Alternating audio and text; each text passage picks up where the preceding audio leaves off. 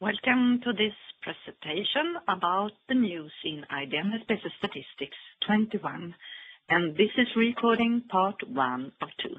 My name is Gunilla Rydander, working as a client technical professional at IBM SPSS. This is the agenda for today. This is the first recording, part one. Then I'm going to talk about the themes of the release. There is four, and then new features in IBM SPSS Statistics and in recording, recording part two, then I'm going to do a demonstration. So starting with the four themes of IBM SPSS Statistics 21. First, we have the running Monte Carlo simulation, and that's a way to build better models and assess risk when inputs are uncertain. Then we have the compatibility, the ability for SPSS to play well with others through integration with technologies and tools. And then we have the enhanced client-server technology, enhancement to client-server technology to improve performance and give organization more flexibility when dealing with large scales of data. And the fourth area is to improve productivity, and that's improvements to existing technology that allows users to increase production through software enhancement. So these are the four areas. I'm going to start with the first one, the simulation part. And uh, we're talking about predictive analytics, and maybe you are already doing that, like doing regression analysis. That's some kind of predictive analytics. A Monte Carlo simulation is a method that has been added to the base module. It's a form of predictive analysis that can be used when you don't have enough data. It simulates data from own specified parameters and use that as an input to predict something important for you, like a target variable, like example, sales. So the parameters for sales could be number of sales agents, type of marketing activity, and number of sales calls, for example. Then you can tweak these parameters to simulate the data and compare outcomes Example, simulate the number of sales agents and see how this affects the sales number. And uh, this is also something called to create what-if scenarios when you tweak your data. Monte Carlo simulation in SPSS statistics is unique in that it combines the power of predictive analytics with the what-if capabilities of Monte Carlo simulation. Other simulation packages in the market make you start from the very beginning and force you to specify everything in the model. And this includes the distribution of the inputs to the model, correlation among the inputs, and strength of the inputs. Unlike other packages, simulation in statistics let you use existing predictive models and existing data as the starting points for your simulation. And then, then this makes it much easier for you the predictive models can then be built in SPSS statistics or SPSS modeler, and that can be used to specify the strength of the inputs and the distribution, because SPSS statistics can use this existing similar data that you have to fit automatically the distribution of the inputs and the correction of the inputs in your new data. So an example, practical example of this, if you pretend that you are opening a new store and you want to predict the first quarter sales from this store, you know some predictors of success from before. Number of reps is important, and advertising the budget and current economy and performance, etc.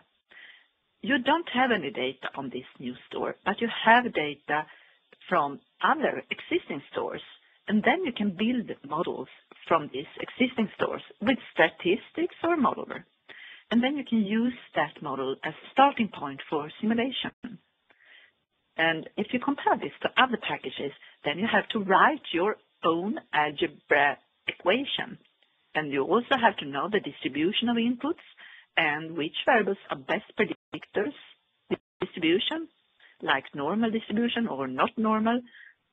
So it's much more easy to use statistics because then you have the, the data from the model from other existing stores, and then we can predict for the new stores. In the end, you get some predictions of the new of the quarter sales for the new stores.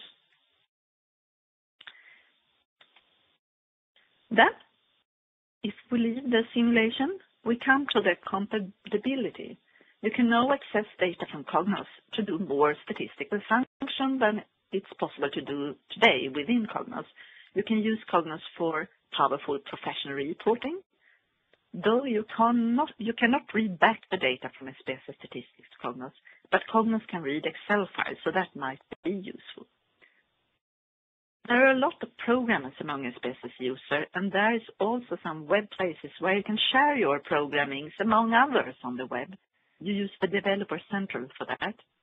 You have earlier heard about the integration between SPSS Statistics and the program language R or Python. Now, we can also have the opportunity to use Java within SPSS Statistics syntax language.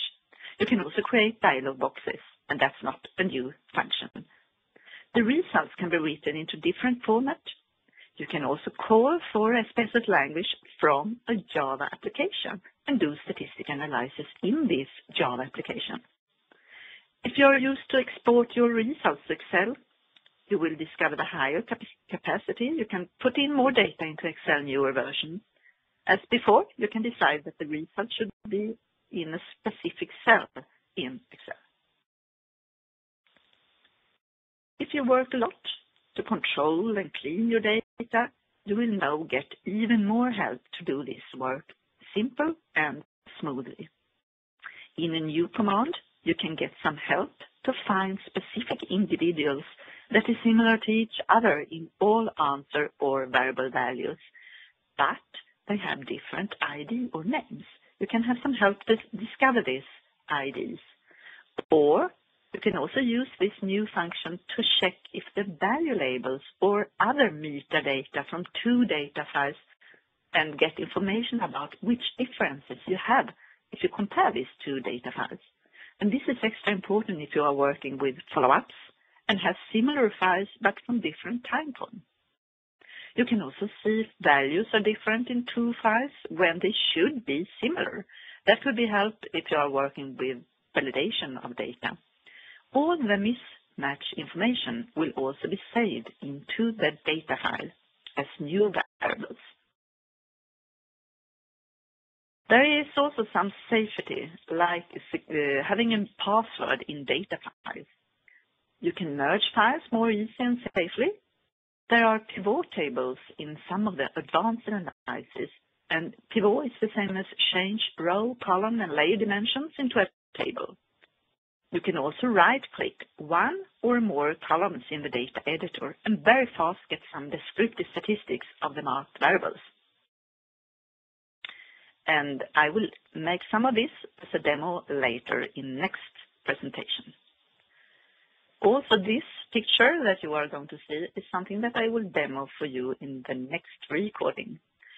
And this is function that most people is working very much and uh, the goal with this news is to get you more effective in your daily work. So starting from the first point here, improve pivot tables. And it doesn't matter if you're working with custom tables or frequencies or descriptive statistics. It's the same. You can sort table rows by category or by values in a column. You can toggle between names and labels, and you can switch the language you can navigate through a pane for large, very large tables instead of just scrolling. You get tooltips help on cells. You see an example here on the picture, a yellow box. There are different ways to search in the output. You could preserve column widths when exporting to HTML, and there is ability to completely delete a row label dimension in the table. You can also insert a blank row into a pivot table. And then there are also ability to preserve, keep together, or break here when you're exporting to Word. We also have some news in Amos. That's another module that is standalone. The last version had the news to have a syntax language, and the news today is to the more simple commands in Amos. Now we have the last picture before the demo in next presentation. And that's for you who is working with big data, probably working in a server environment. There are server versions of SPSS Statistics since over 10 years. And as you see, uh, there are some better performance together with collaboration and deployment services. And there is ease of use with single sign-on between clients server. And there is also some improvements for the Unix, Linux, and also client server can now be on different release levels. You can have the version number 21 on the client and version number 20 on the server. That's okay. So thank you very much for this presentation. And now, if you are interested, you can go to re recording part two and see a demo of the news in SPSS Statistics 21. Thank you very much.